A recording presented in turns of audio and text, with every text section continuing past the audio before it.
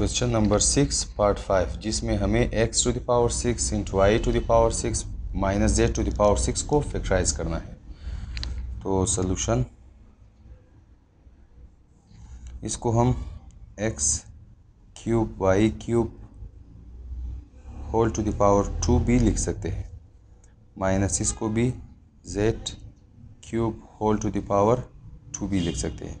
और इधर हमारे पास जो फार्मूला यूज़ होगा वो A to the power two minus B to the power two equals to A A plus B into A minus B यानी कि हर जिस जगह ए होगा, उसकी जगह हम X cube Y cube put करेंगे और बी की जगह हम जेड क्यूब तो equals to A plus B X cube Y cube A है माइनस बी की जगह हम जेड क्यूब पुट करेंगे.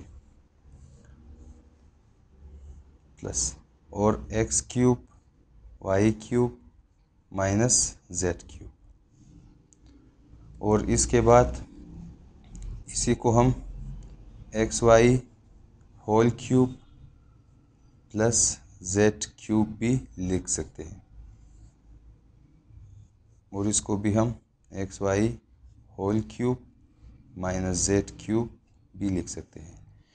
इधर ये दो फिर से फार्मूले की शक्ल में ओपन होंगे। पहला फार्मूला जो यूज़ होगा वो वो इस पार्ट के लिए है, जो कि अगर A cube plus B cube हो तो उसको हम A plus B multiply by A square minus A B plus B square लिख सकते हैं। और अगर A cube minus B cube हो तो उसको हम A minus B into A square plus A B plus B square लिख सकते हैं। तो equals to A cube plus B cube इसके लिए यूज़ होगा और ये इसके लिए। तो ए की जगह एक्स वाई है और बी की जगह जेड है। तो A plus B X Y plus Z multiply by A की power two X Y whole square minus A B, X Y Z, ये ए और ये B, plus B to the power two तो Z square. और उसके बाद इसके लिए जो कि इधर भी ए की जगह एक्स वाई है और बी की जगह जेड है तो ए माइनस बी तो X Y minus Z into A की power two, X Y whole square plus X Y Z, ये ए और ये B. Plus J, plus B to the power two है तो हम Z to the power two लिखेंगे। Equals to X Y plus Z, और उसके बाद हम इसको लिखेंगे एक्स वाई माइनस जेड, और उसके बाद इस इस टर्म को जो कि X square Y square minus X Y Z plus Z square into ये टर्म जो कि X square Y square plus X Y Z plus Z square और इधर हम two X Y Z add भी करेंगे और सब्ट्रैक्ट भी करेंगे। Minus two X Y Z ताकि ये टर्म टर्म और ये टर्म आपस में फार्मूला कौन सा वाला फार फार्मूला वो ये है कि अगर A to the power two हो प्लस टू ए बी हो plus B to the power two हो तो उसको हम A plus B whole square भी लिख सकते हैं। इधर A to the power two की जगह एक्स वाई है, जो कि एक्स वाई स्क्वायर को हम X Y whole to the power two भी लिख सकते हैं। और बी की जगह Z to the power two है। और टू ए बी की जगह two A B X Y और ए एक्स वाई है और बी जेड है।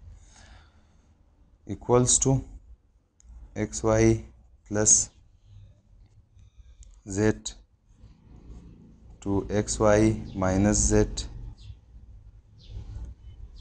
into X square Y square minus X Y Z plus Z square into अभी ये ये और ये टर्म आपस में एक साथ होंगे तो उसको हम लिखेंगे X Y plus Z whole to the power two और बाकी minus two X Y Z plus X Y Z तो इसका answer minus X Y Z आ जाएगा।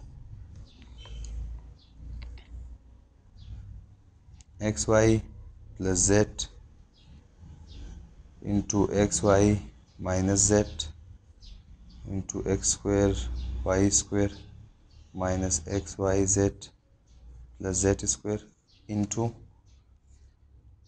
X Y plus Z whole square इसको हम minus X Y Z whole two square root of X Y Z whole to the power two भी लिख सकते हैं।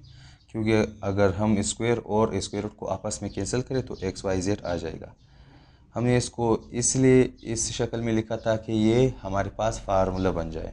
कौन सा फार्मूला वो ये है, अगर A to the power two minus B to the power two हो तो उसको हम A plus B into A minus B भी लिख सकते हैं। इधर ए की जगह एक्स वाई प्लस जेड है और बी की जगह square root of X Y Z है।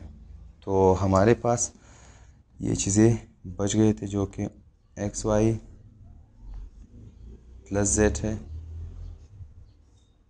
Into X Y minus Z into X square Y square minus X Y Z plus Y square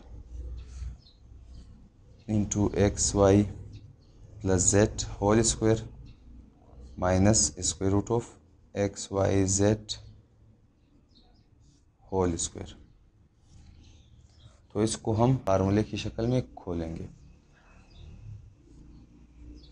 X Y plus Z X Y minus Z X square Y square minus X Y Z plus Y square into सबसे पहले ए plus B इधर A की जगह ये है तो X Y plus Z plus B B square root of X Y Z और उसके बाद ए ए की जगह हम एक्स वाई प्लस जेड लिखेंगे minus B minus square root of X Y Z यही हमारे पास आंसर है।